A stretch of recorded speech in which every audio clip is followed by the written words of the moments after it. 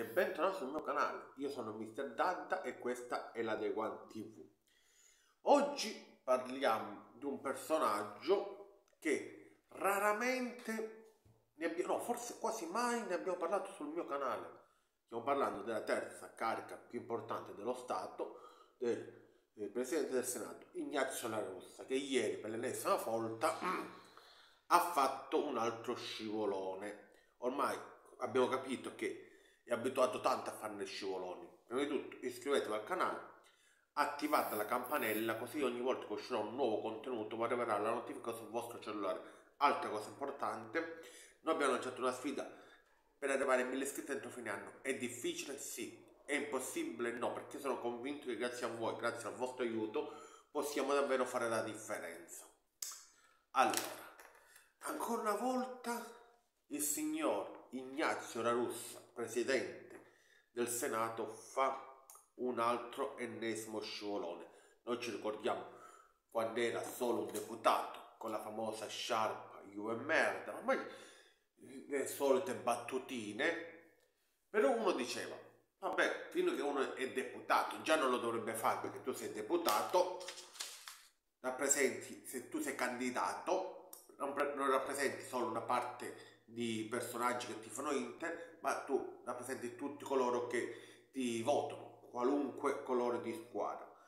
Però uno può dire, vabbè, è un deputato, però quando tu dopo oh, oh, diventi presidente del Senato e commetti uno scivolone dopo l'altro, uno scivolone dopo l'altro, e ieri ne hai commesso un altro, ne hai commesso un altro, ma davvero siamo arrivati a questo, che dobbiamo avere un presidente del Senato che fa certi scivoloni, che poi è uscito con la solita battutina, perché è stata solo una battutina, però la battutina oggi, la battutina domani, la battutina dopodomani, il sentimento popolare aumenta, perché lui cosa ha detto? Vediamo, ieri una dichiarazione che mi sembra che era un evento politico, gli hanno fatto un'intervista lui volevo fare una cosa diversa dal, presi dal, dal, presidente del senato volevo fare il ministro dello sport così mi sarei riposato e anche divertito. Ma il presidente del consiglio mi ha detto di no. Giorgia Meloni mi ha detto lo fai per aiutare la tua Juve? E lui ridendo assolut assolutamente no semmai per affondare la Juventus. Cosa? e, e si è messa a ridere Signori miei, la carica, la carica, la terza carica dello Stato, dopo Presidente della Repubblica, Presidente del Consiglio, cioè Presidente del Senato, mi va e mi dice no, assolutamente non lo faccio per favorire la Juve, l'Inter, scusate, ma per affondare, per affossare la Juve. Signori miei, voi immaginavate a parti inverse che un Presidente del, del, del Senato diceva una cosa del genere, no a favore, che tifoso della Juve, lo dicevo contro il Napoli, contro l'Inter. Cosa sarebbe successo? Sarebbe successo la guerra, che tutti chiedevano le dimissioni, tutti chiedevano le dimissioni. E ancora una volta, e ancora una volta, il silenzio totale, perché se ne escono fuori, ma è solo una battuta, perché ha riso.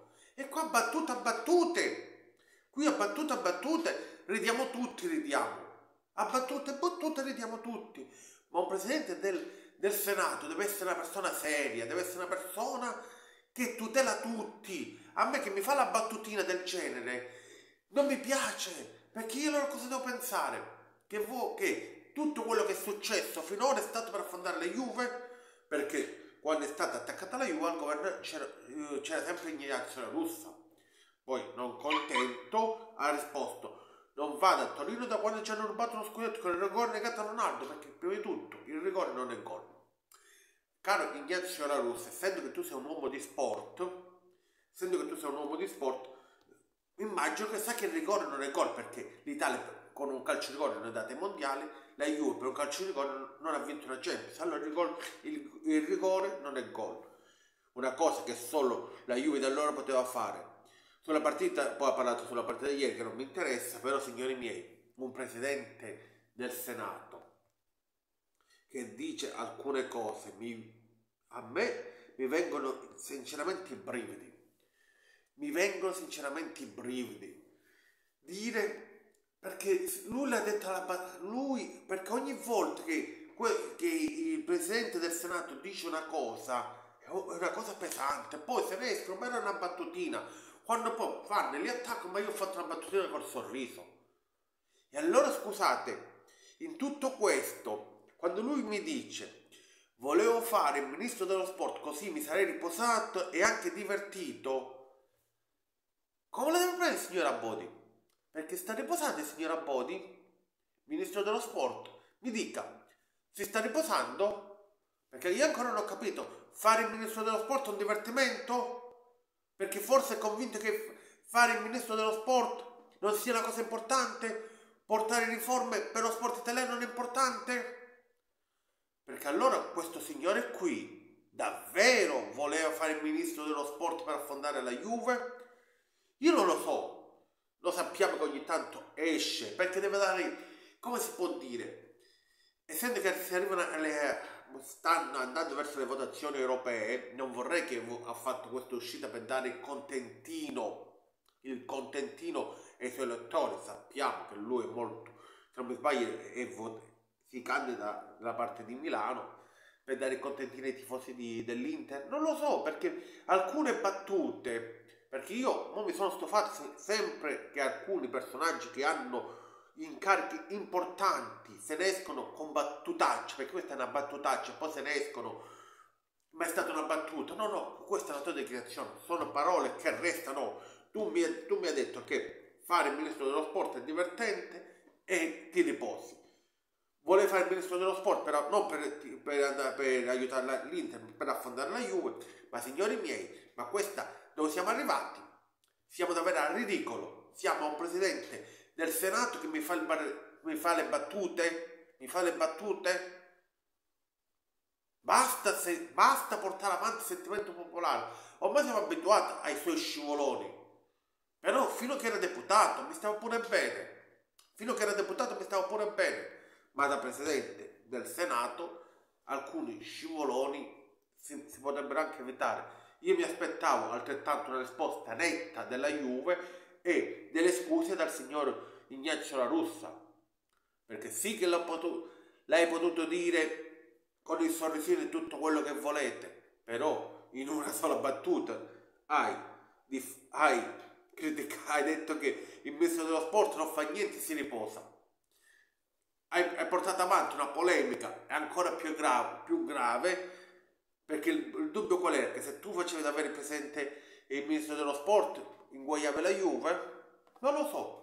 Poi ognuno può pensare come vuole, perché dalla parte juventina tutti ad, attaccare Ignazio La Rossa, dall'altra parte, dall'altra parte tutto a dire che è una battuta. Però signori miei, io penso è un, mio, è un mio semplice parere che io non sono un signor nessuno. Sono mister Dada della, della Guantimo, ma sono un signor nessuno. Che chi ha del, delle cariche importanti, quando va davanti ai microfoni, dovrebbe pensare di parlare non uno, non due, non tre, ma fino a dieci. Dovrebbe contare uno, due, tre, quattro, cinque, sei, fino a dieci e poi parlare. Perché questo qua, questa battuta, poteva essere una battuta gogliardica una battuta per fare ridere, però se uno vede la sua storia con la Sharp, Juve merda, tante tante dichiarazioni contro la Juve, uno più uno secondo me alla fine fa due e qui uno più uno più uno fa due. E forse davvero diventare un ministro dello sport qualche dubbio me lo faceva venire. Signori miei, iscrivetevi al canale, attivate la campanella e ci vediamo alla prossima. Ciao!